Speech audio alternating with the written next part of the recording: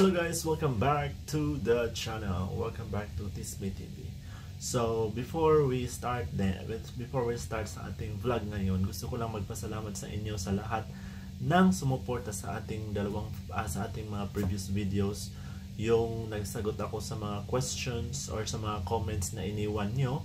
And then yung about buffet attendant facts. Maraming salamat po sa mga bagong subscribers And madaming salamat din po, maraming salamat po sa mga um, nagsusupport at nanonood sa aking videos.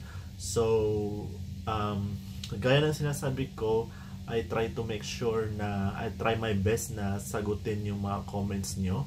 Pero pasensya na kung delay yung mga reply ko sa mga comments nyo kasi mahina yung internet namin dito sa uh, barko. And then may internet kami libre lang kaso Facebook lang yung na-access. So yung ginagawa ko, uh, bumibili ako ng internet para magka-access ako sa lahat ng website or lumalabas ako sa port para makapag-wifi ako sa labas.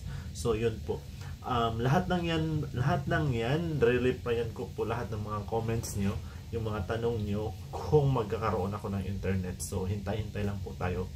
So, again, welcome po sa mga bagong nakasubscribe and feel free lang po kayo na mag-comment and mag magtanong kasi yun nga uh, I'll do my best to answer them. And salamat po sa lahat ng naka-appreciate sa lahat ng mga ni-reply ko sa inyo.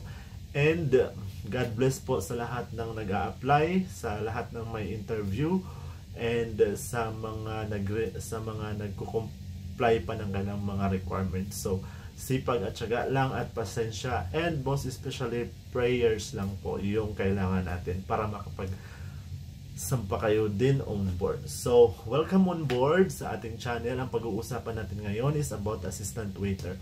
Yung assistant waiter, ang trabaho po ng assistant waiter, siya po yung tumutulong sa waiter. So, yung ginagawa ng yung main na ginagawa ng waiter is nagte-take order siya yun yung nagte-take order yung waiter at nagsiserve. Yung ginagawa ng assistant waiter is nagpipick up siya ng pagkain na in order ng mga guests nyo, ng mga pasahero nyo, doon sa kitchen, pabalik doon sa stasyon.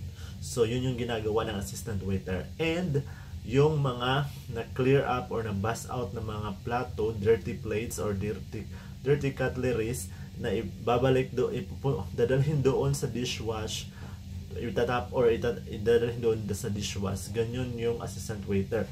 Yung assistant waiter din is siya yung nagtitake order ng drinks on board. I don't know sa ibang company pero dito sa amin ganun yung process. So usually naman pare-pareho lang yung common lang yung duties and responsibilities ng assistant waiter and waiter sa mga barko. Nagkakaiba-iba lang sa mga konting areas or mga konting responsibilities. Pero usually, yun talaga yung pinaka-basic na ano. So, again, nagtitake order ng drinks yung assistant waiter habang yung waiter ay nag-order.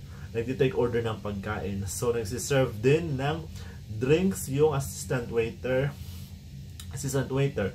Tapos, kung busy yung assistant waiter, nag nagpi-pick up ng pagkain or nag-bus out, ganun, si waiter pwede din siyang mag mag-serve, mag-serve or mag-replenish ng drinks or mag-refill, I mean mag-refill ng drinks ng pasahero.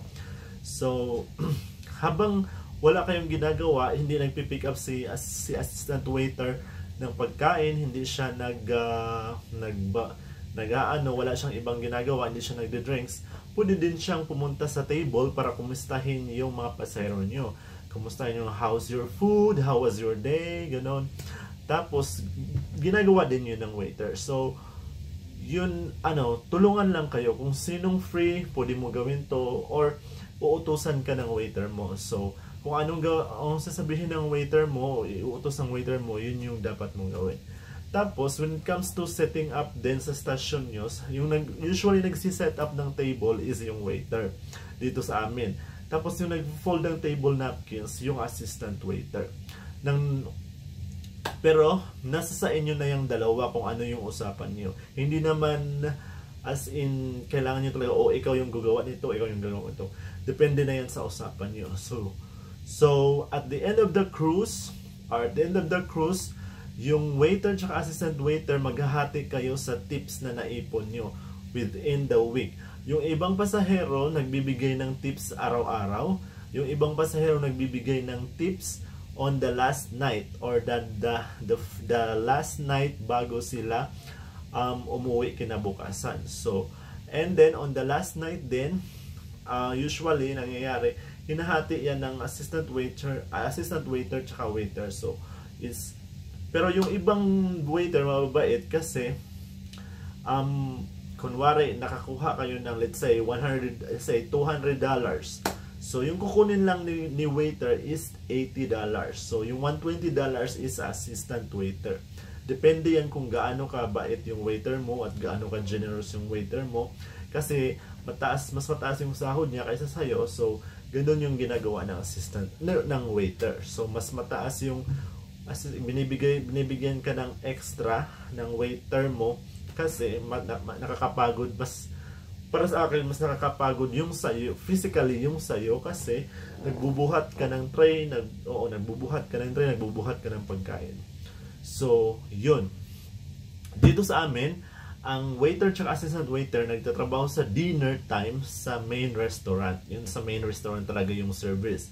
Pero pag breakfast and lunch nagtatrabaho pwede magtrabaho yung assistant waiter and waiter waiter sa buffet. Ang ginagawa sa buffet is mag-clear up lang ng lamesa.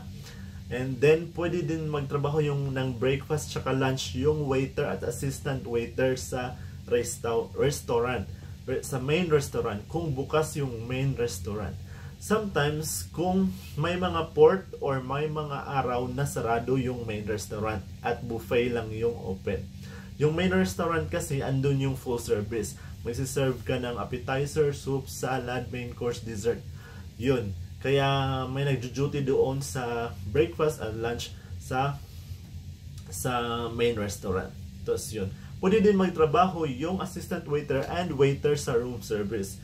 Which is doon ako naka-assign ngayon sa room service. Breakfast and lunch sa room service ako nagtatrabaho.